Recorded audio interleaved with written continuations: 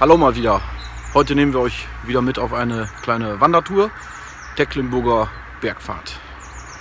Wir wünschen uns und euch viel Glück.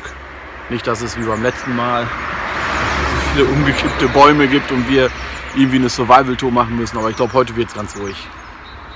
Dann schauen wir mal, was so alles auf uns zukommt. Hier stehen wir jetzt vor der ersten Sehenswürdigkeit. Hier der Bismarckturm. Ich zeige euch gleich noch mal ein paar Nahaufnahmen.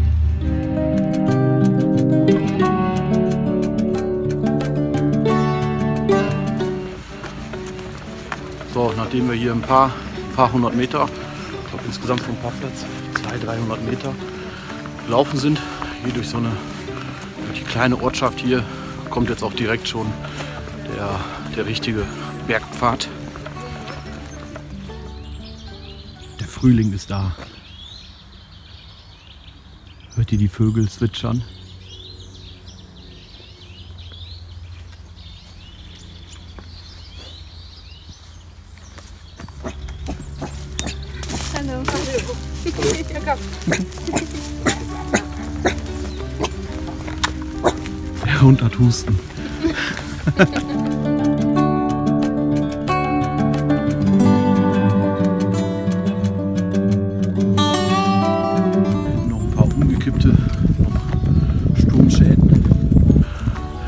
Hatten wir ja schon mal, Sturmschäden. Ich erinnere an Holperdorper. Ich verlinke das Video mal unten. Könnt ihr euch mal angucken. War eine witzige Tour.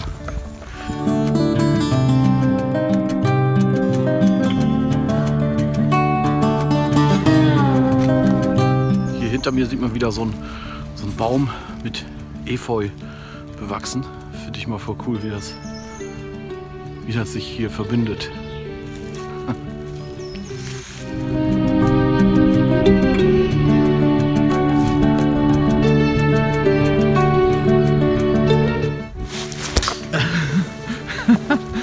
Claudia ist wieder zickig. Claudia mit ihren Kampfstöcker am Rucksack.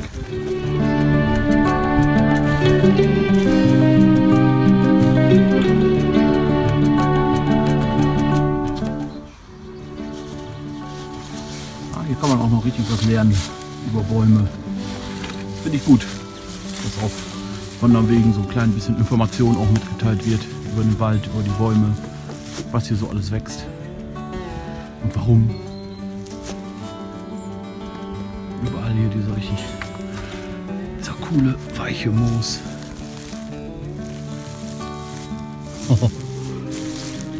Wie ein Bett. So geil.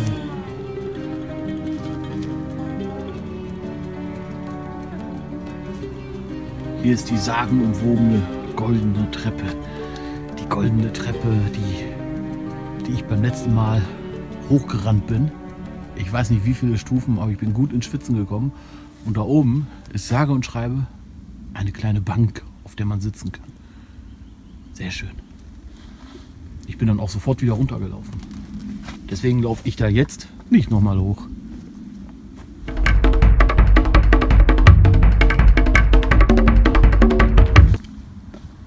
Versuchsfläche der Forstbaumschule Hannes Köring Sprakel. Auf jeden Fall geht es darum, dass hier wohl aus verschiedenen Ländern verschiedene Bäume gepflanzt wurden. Die zeige ich euch später auch nochmal. Und dann wollten die schauen, ob die auch hier wachsen oder so. Oder nur zum Zeigen. Sehr interessant. Hast du was gesagt?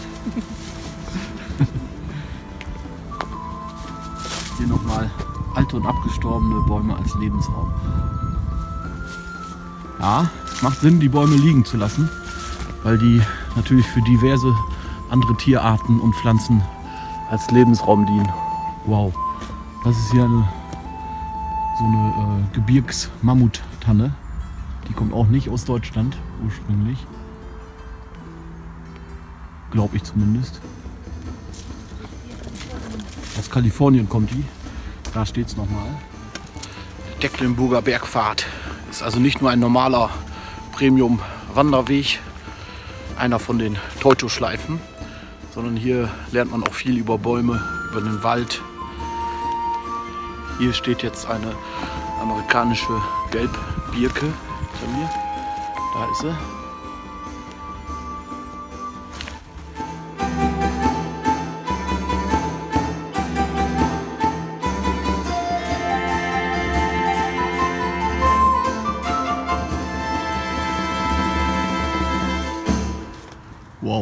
Ist riesig. ah, weiter geht's, Claudia wartet schon.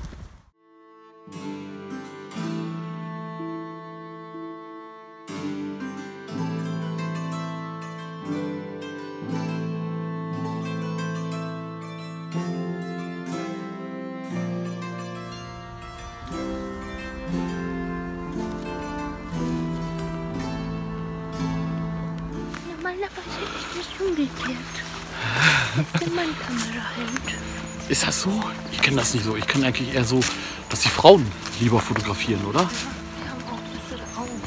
Ja. So ein Opa meinte gerade. Normalerweise ist das umgekehrt. Normalerweise tragen die Mann, die Männer die Kamera. Dann ist er an mir vorbeigelaufen, hat gesehen, dass ich die Videokamera halte. Da habe ich ihm gesagt, ja, der Mann hält die Videokamera und die Frau macht Fotos.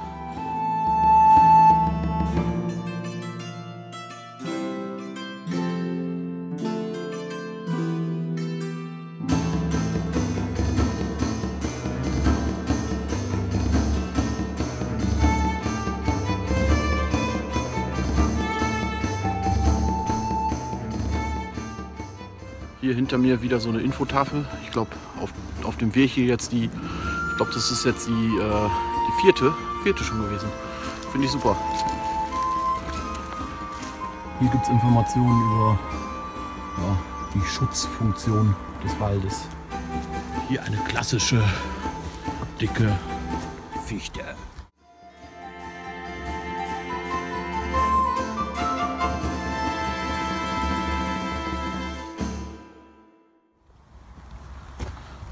hier Sturmschäden noch mitten auf dem Wanderweg. Premium-Wanderweg und noch nicht geräumt. Gut, ich finde das jetzt nicht so schlimm. Ne? Also ich finde das eher interessant. Schade um den, um den dicken Baum hier, aber das ist halt nun mal die Natur. Ja, hier kann man aber locker drumherum. Es gibt bestimmt noch Sturmschäden, die wichtiger sind, die behoben werden müssen, als hier jetzt diese, dieser kleine ja gut, nicht klein. Dieser große Baum, der hier umgeknallt ist. Naja.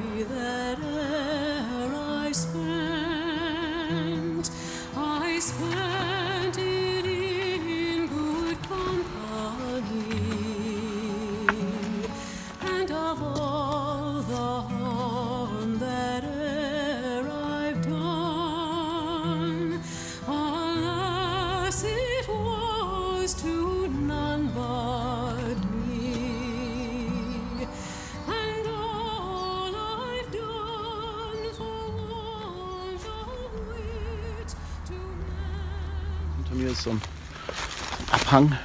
Keine Ahnung, hier scheint mal irgendwie was richtig derbe runtergeknallt zu sein.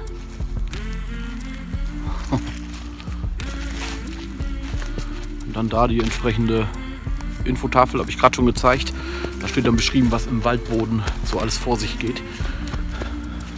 Echt interessant. Die ganzen Würmer, Wühlmäuse.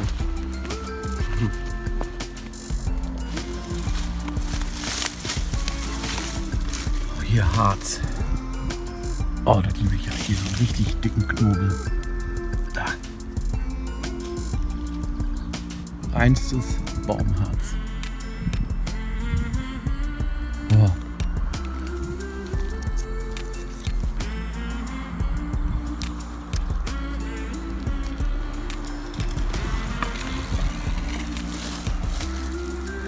Jetzt kommt nun meine kleine Harzdose. meine Zumberdose. So, mach die mal auf. Da ist schon ein bisschen Birkenrinde drin und da kommt jetzt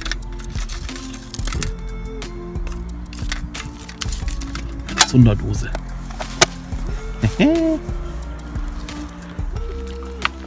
Mir kam mir gerade so ein älterer Herr entgegen, hat mich am Film gesehen und sagt, da unten da ist eine Kneipe. Oder so eine Gaststätte, nicht Kneipe. So eine Gaststätte, sagt er, ist da unten. Da musst du hingehen. Da gibt es eine riesen Torte, die kannst du filmen. Naja. Aber so wie ich Claudia kenne, müssen wir da noch hin. Und dann müssen wir auch die Torte noch filmen und ein richtig fettes Stück davon. Schön mit dem Kaffee. Ja, kann man machen. Dafür wandern wir ja, ne? Als Belohnung, oder Claudia? Oh, jetzt tut sie so. Ja. ja. Hier wieder so eine super, super geile Aussicht. Kann man richtig weit gucken. Ja. Und da steht auch die passende Bank dafür.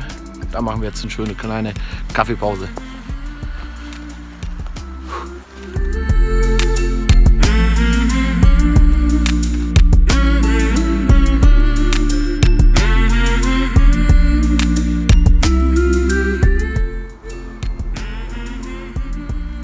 Richtig schöne Felsen. Und so eine einsame, so eine Tanne da mittendrin. Sieht auch schön aus. Die Bäume wachsen da auch. Die Bäume wachsen da raus. Aus, den, aus diesen Felsen raus wachsen da die Bäume. Das ist total komisch. Schon öfter gesehen sowas. Richtig abgefahren, wie sich, wie sich die Natur so ihren, ihren Weg sucht. Teilweise wachsen die Bäume, habe ich bei meinen Lost Places mal gesehen, durch die Häuser durch, sodass an der Decke, an den Dachpfannen, da kommt da plötzlich eine Tanne raus aus dem Haus. Voll geil.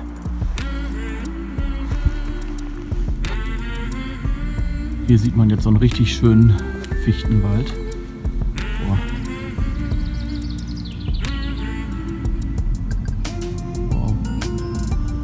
Weg, der Wanderweg geht hier direkt mittendurch.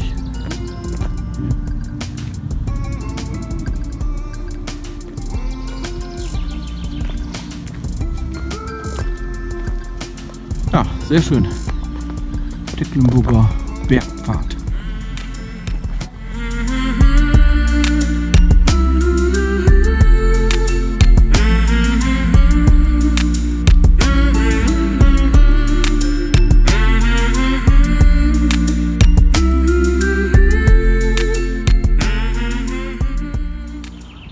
Hintergrund auch wieder richtig geile Felsen. Gibt es hier überall. Überall hier.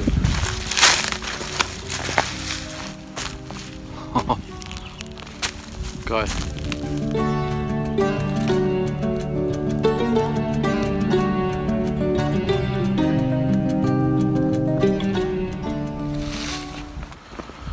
Ah, hier ist glaube ich die Kapelle.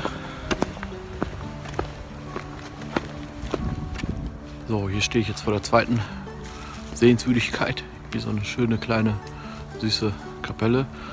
Da kann man auch rein. So ein kleiner Schrein ist da. Da kann man eine Kerze anzünden.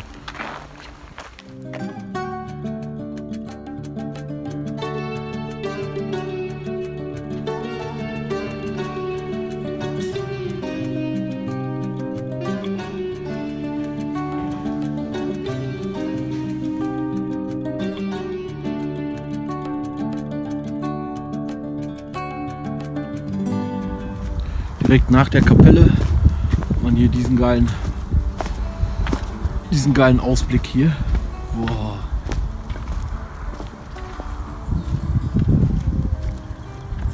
Hier kann man so richtig weit sehen.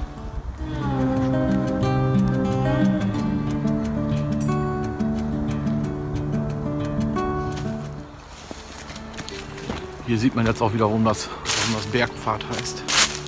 Wir sind hier die ganze Zeit immer, fast immer auf dem Berg drauf. Hier geht's. Ah, kann man nicht so gut sehen, glaube ich. Aber hier geht's runter. Wir sind jetzt hier auf dem Berggipfel sozusagen. Richtig schön hier.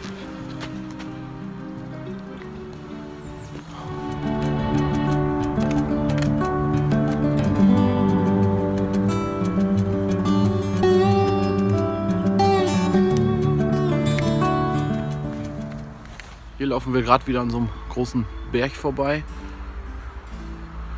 Richtig schön. Schöner, schöner Bergpfad. Der hat seinen Namen verdient hier, der Tecklenburger Bergpfad.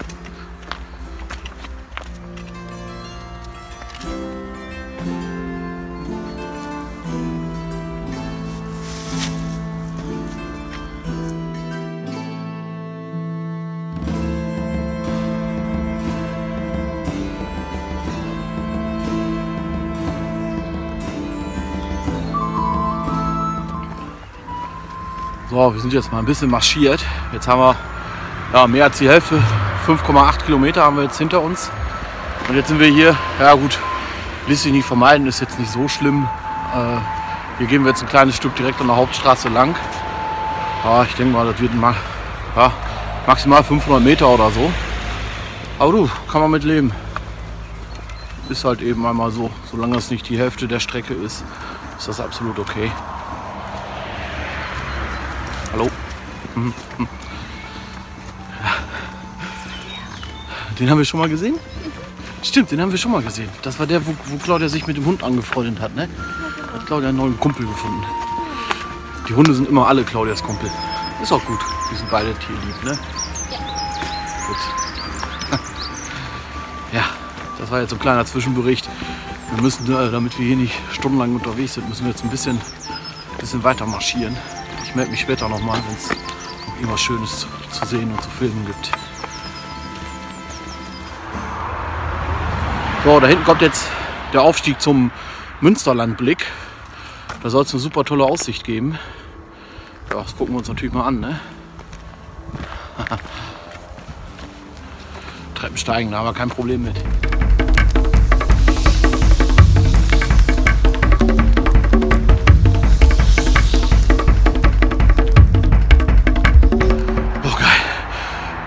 Zieht so richtig in den Waden. Das tut richtig weh. Da freut man sich, da freut man sich schon auf den Ausblick. Der muss es wert sein. Alter Schwede. Wir sind da. Wir haben es geschafft. Ah, Münsterlandblick und hier, hier der Dornstein.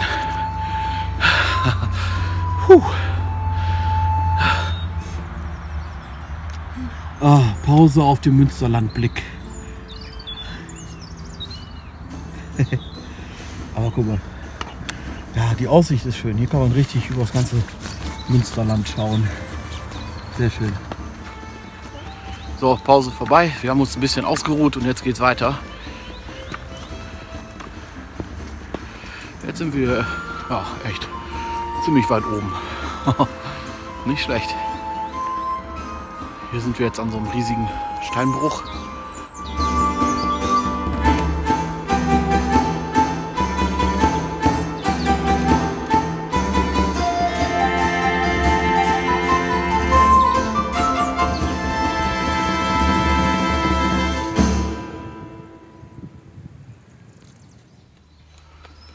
Hier hinter mir sieht man jetzt das,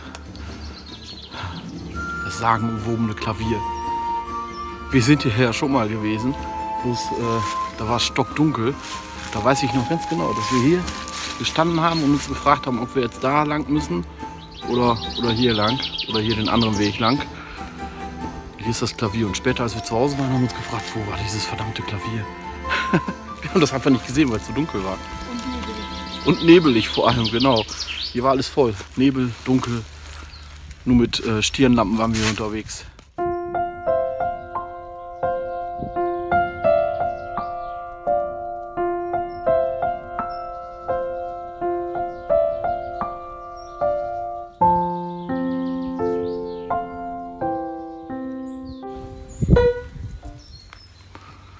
Lassen wir das Klavier hinter uns und weiter geht's hier auf dem Tecklen, Tecklenburger Bergpfad. Oh, Notfall. Da, dü, da, da. Notfall. Was passiert? Rucken. Ich glaube, ich habe ESG. Oh, Claudia hat ESG. Hier hat Claudia jetzt entdeckt eine, eine Eibe. Ganz wichtig. Dass sie hellgrün von Ah. unten ist. Genau, von unten hellgrün. Und flach, Flach, flache Nadeln genau. Und ein bisschen weich, glaube ich auch, Ja, ne? Weicher als weich. äh, Fichten Fichte. und Tannen und so. Genau. Ihr kennt ja bestimmt von dem Benjamin Clausen den Fichtennadeltee. Das hier ist eine Eibe. Giftig. Eibe giftig. Kein Tee trinken. Hier. Ein schöner Birkenwald. Ich glaube, es ist dein Lieblingsbaum, ne, Claudia? Ja. Birke und Fichte. Birke und Fichte. Ah, stimmt. Aber Birken sind wirklich schön und nützlich. Man kann den, den Saft, Saft von den Birken kann man trinken. Dauert aber ganz lange, bis man den geerntet hat. Da gibt es, glaube ich, von den, von den Naturensöhnen gibt es da ein cooles Video. Müsst ihr euch mal angucken. Und natürlich die Rinde zum Feuer machen. Die Rinde enthält so ätherische Öle und das brennt richtig gut. Natürlich nur entweder von toten Birken oder nur ein bisschen die oberste Schicht hier. Das, was man hier abknibbeln kann. Das kann man nehmen, das tut dem Baum nicht weh. Hier sieht man es nochmal gut. Hier. Ja, das kommt dann gleich auch schön in meine Zunderdose. Ja, so viel zu den Birken. Birkenrinde.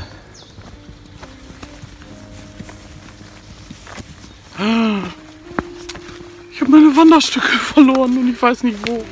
Ach, du, bei, Foot, bei Piano. Ja, egal, laufe ich jetzt nicht zurück. Ja, Ey, ich und meine Wanderstöcker. Letztes Mal ist mir mein Lieblingswanderstock durchgebrochen und diesmal habe ich meine zwei Wanderstöcker liegen gelassen. Die waren aber eh nicht so toll.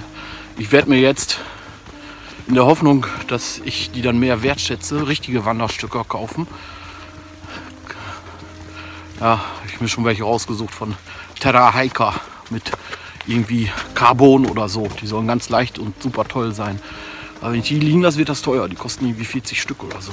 Äh, 40 Stück, 40 Euro. Ah, ja, mal gucken. So, da wollen wir hoch. Ja. Ist auf jeden Fall höher, als es aussieht. Jetzt kommt hier nochmal die Sonne raus. Boah, ist das geil. Man fühlt sich irgendwie wie im Sommer. Vögel zwitschern. Sonne scheint hier zwischen den Bäumen durch. Auf den Moment haben wir gewartet, oder?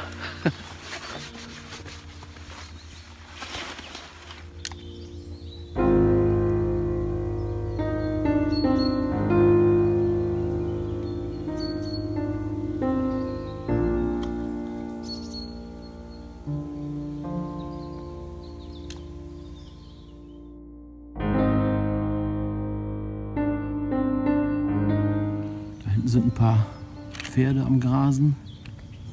Boah, richtig schöne Pferde sind das. Hier sind wir jetzt vor so einem, so einem richtig urigen Buchenwald. So richtig schöne, kleine, große, alte Buchen. Richtig geil.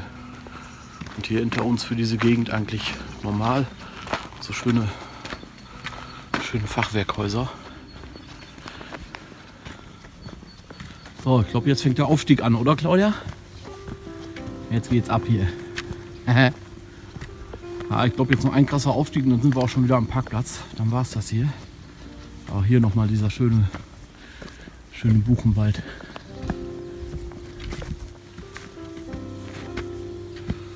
Und hier so ein Nadelwald direkt daneben.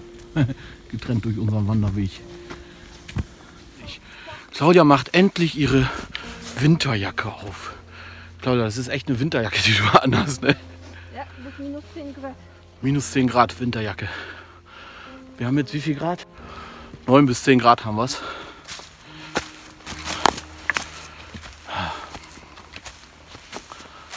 Ja, guck mal. Hier schön so ein bisschen hoch, ne? Ein bisschen hochlaufen. Muss. Komm, Claudia, los. Richtig Power hier. Richtig geiler Wald. Also wirklich zu empfehlen. Toto-Schleifen. Googelt das mal, da findet ihr die. Das sind mehrere Premium-Wanderwege. Wir haben die, das war jetzt die, ne, die haben wir jetzt komplett durch. Nur Holper Dorper, der fehlt uns noch offiziell. Wir haben ja nur diesen A10, kleiner Rundwanderweg während des Holper Dorpers. Aber der Holper Dorper fehlt uns noch. Den machen wir als nächstes. Da gibt es bestimmt auch wieder ein kleines Video von. Immer wieder und überall diese dicken Felsen. Da hinten auch.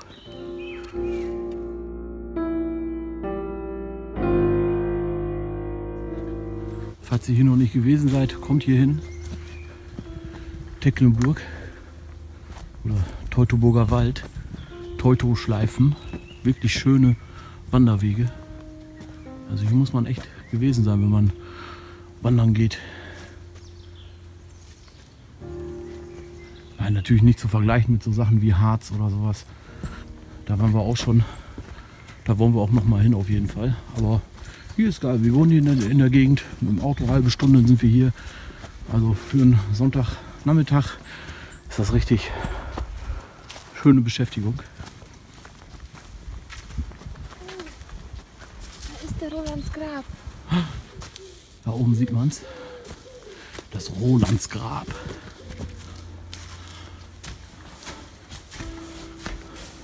Das ist wirklich hier in den Felsen reingehauen worden. Ne? Heftig.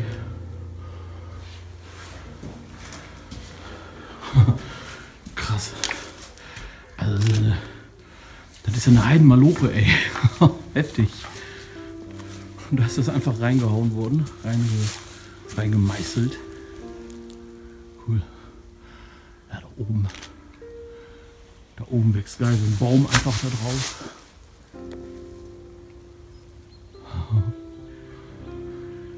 Ja, hat schon was.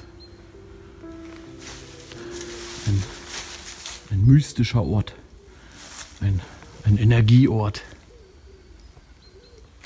Rolandsgrab abgehakt.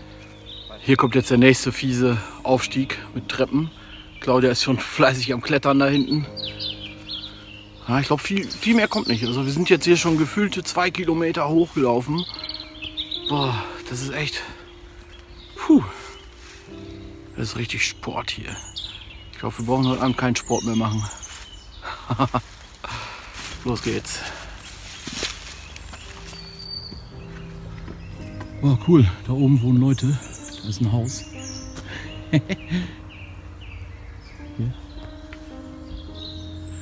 Das ist ja geil.